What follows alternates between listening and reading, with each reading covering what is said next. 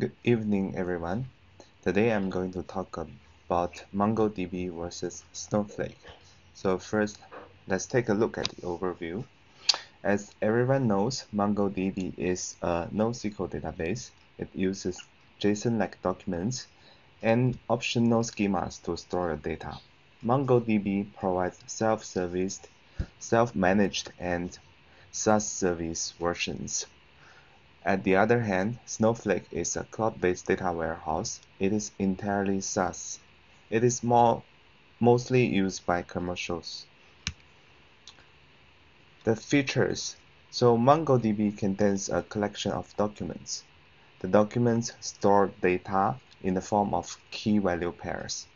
And MongoDB supports Mongo Query Language. It's a proprietary query language created by Mongo the company itself. Snowflake uses partitions and clustering technology to optimize query and enhance performance.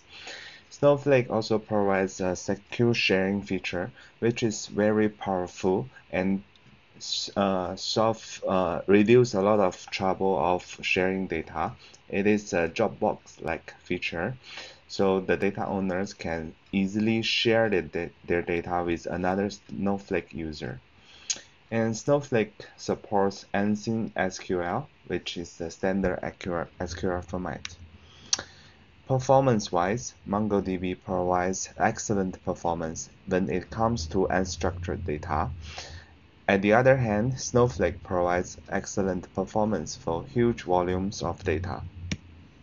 Transactional. This is the most commonly asked questions whether Snowflake is a transactional database. So the answer is no. It is not designed for transactional system. It does not when if the use case of your application has contains lots of updates, inserts with small amount of data, then you should not go for Snowflake. And on the other hand, MongoDB is a transactional database which means you can use MongoDB for your transactional applications. And another question, web application. Is Snowflake for web application since it is not transactional?